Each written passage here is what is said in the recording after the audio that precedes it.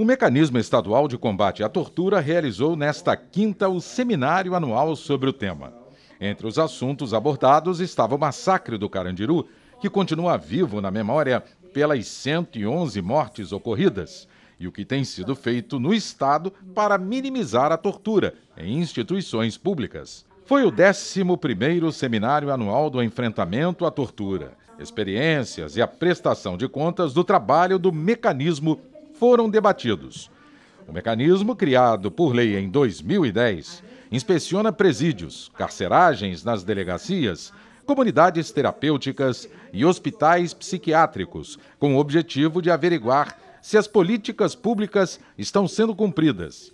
Desde o início da pandemia até agora, houve uma redução do número de encarcerados, que hoje está na casa de 45 mil presos e mil menores, que estão em medidas socioeducativas. O compromisso de prevenção e combate à tortura tem que ser de todos nós. E até porque ninguém está livre de ser preso, seja presidente, governador, deputado, qualquer pessoa pode ir para a privação de liberdade. Então, essas pessoas, quando estão lá dentro, sabem o que é a tortura. Os resultados são fundamentais, porque exatamente são espaços fechados, muitas vezes são as chamadas instituições totais, é que é preciso um olhar de fora, um olhar de legalidade, um olhar uh, de contemplação de direitos, enfim, e de realmente promoção de dignidade da pessoa humana. São 15 instituições e organizações da sociedade civil que compõem o comitê Dentre elas, o Tribunal de Justiça, Ministério Público, Defensoria, OAB, dentre outras entidades. Para especialistas, o resultado final na área poderia ser melhor se os investimentos em educação e cultura fossem maiores. É necessário cada vez mais investimentos na educação, investimentos na cultura e numa cultura que difunda valores que são os valores da nossa Constituição.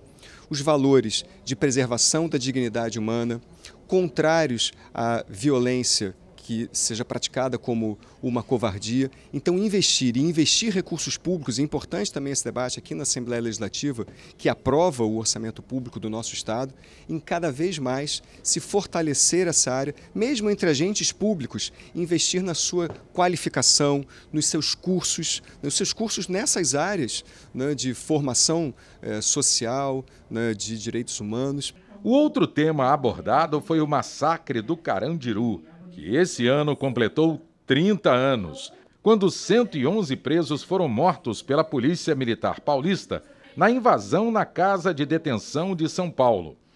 Em três décadas, a lembrança continua na memória das pessoas e poucos avanços aconteceram na área. O que a gente identifica ao longo desses 30 anos é que o processo de impunidade que esteve naquele momento e as escolhas políticas que foram feitas, eles é, produziram um encarceramento massivo, o aumento dos problemas, a reprodução dos problemas que levaram aquele massacre, né, a continuidade de um massacre que se expande pelo Estado brasileiro inteiro é, e da, do incremento desses processos que produzem violência. Né? Então, na verdade, a gente tem a produção de algumas políticas, como a política de prevenção e combate à tortura, da estruturação de um sistema com muita resistência, que não está estruturado e foi quase desmontado, mas um processo que se mantém materialmente na vida das pessoas.